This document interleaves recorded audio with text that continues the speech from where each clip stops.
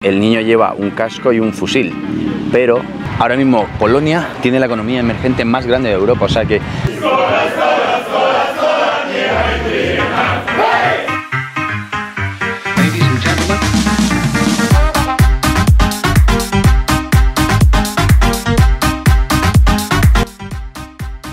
¿Qué tal amigos? Para los que no me conocen todavía, yo soy Jason y en esta ocasión nos encontramos en hermosas tierras polacas, exactamente en Varsovia, así que te invito a que te quedes a ver este vídeo para que puedas conocer un poquito la ciudad por si estás queriendo venir a este hermoso país porque puedo decir realmente que actualmente se ha convertido en mi ciudad preferida. De hecho, pienso volver muy pronto porque Varsovia al menos es demasiado increíble. O sea que os voy a enseñar un poquito de todas las zonas turísticas, al menos las que he podido conocer.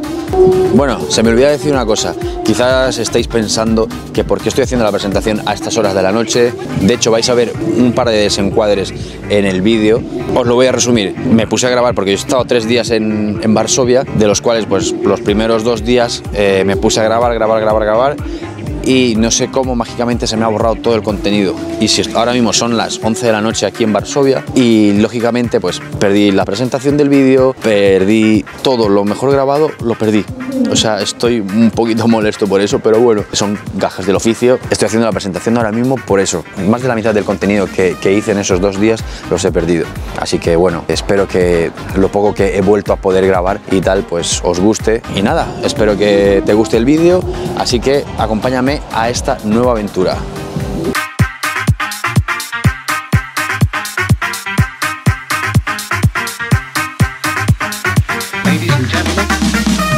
Algo que tenemos que venir a ver también aquí, cuando vengamos, que está esto por el casco antiguo, es esto. Eso de ahí, que es la columna del Segismundo. Esta columna fue construida por el rey Vladislao III en homenaje a su padre, el rey Segismundo, por haber traído la capital de Cracovia aquí a Varsovia, porque actualmente la capital de, la capital de aquí de Polonia es Varsovia, pero antiguamente era Cracovia. Y pues le construyeron esto, pues por haber traído la capital aquí. Justamente detrás la columna del Segismundo tenemos el castillo real donde vivió el rey de Polonia hasta el año 1795. Realmente muy bonito, la verdad. La arquitectura que tiene Polonia y bueno, en, sí los países del este es muy hermoso, la verdad. Me estoy enamorando de esta ciudad. Por cierto, no sé si se nota, pero ahora mismo, si veis todas las personas que están detrás mía y todo, que vamos a hablar un poquito más, todo, aquí en Polonia están haciendo vida normal. Nada de mascarillas, nada, nada de distanciamiento social. O sea, increíble la verdad, o sea, parece como si, como si no hubiese pasado nada. O sea, de cada 100 personas que, que veo, quizás una lleva mascarilla, pero después prácticamente no lleva nadie.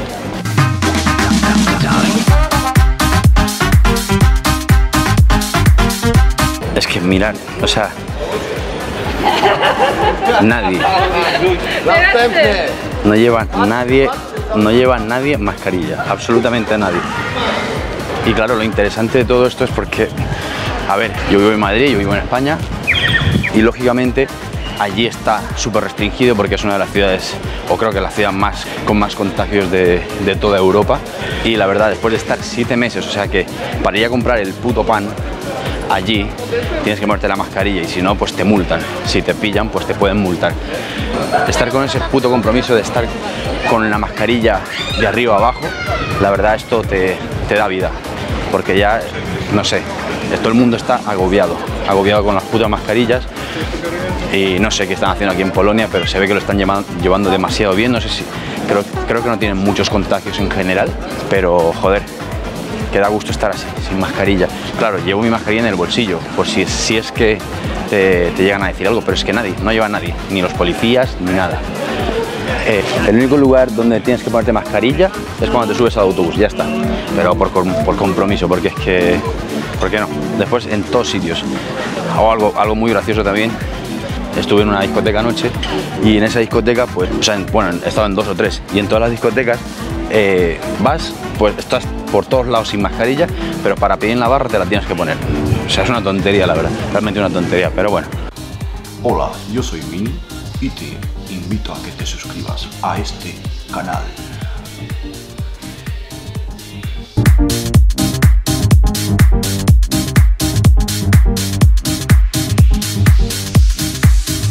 Pues bueno amigos, algo que tenemos que venir a conocer aquí en Varsovia es este pequeño monumento que representa a todos los niños soldados que lucharon en el levantamiento de, Varsovia en 1944. Esta estatua fue puesta aquí en 1983 y la verdad que tiene bastante historia porque como podemos ver el niño lleva un casco y un fusil pero el casco es mucho más grande que él y el fusil pues lo interesante de esto es que claro cuando hubo el levantamiento de Varsovia eh, lógicamente los, los, rebeldes polacos no tenían armas, ellos lucharon con palos, piedras y tal. En este monumento se puede ver que, el niño lleva un casco y un arma, pero es porque eran las armas o, los cascos y tal que podían, como quien dice, robarles a los alemanes. Por eso es que es bastante profundo la historia de este monumento en sí. Es muy bonito, la verdad.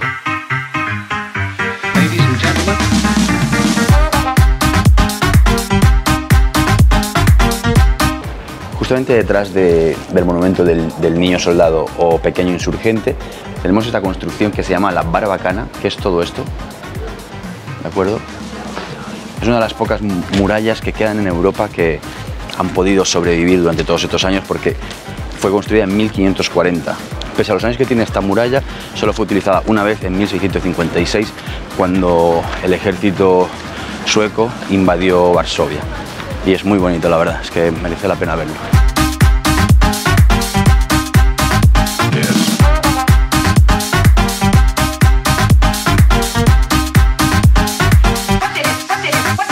Algo que tenemos que venir a conocer también, que está en pleno casco antiguo, es a la típica sirena de aquí de Varsovia, que según cuenta la leyenda, esta sirena vino del mar Báltico y entró por el río Vistula, que está aquí en Varsovia, y un pescador la, la capturó, según cuenta la leyenda, y claro, según dice, pues no paraba de llorar hasta que un chico la, la escuchó y la sirena le pidió ayuda para, para, ser liberada. Y el chico pues fue con, o sea, convenció a unos amigos y lograron rescatarla. Y desde ahí la sirena prometió cuidar a, a toda Varsovia. Es una de las leyendas y hay otras miles, pero está muy bonito. Y miren, qué vistas más increíbles, de verdad. Es que es brutal. Hola, yo soy Mini y te invito a que te suscribas a este canal.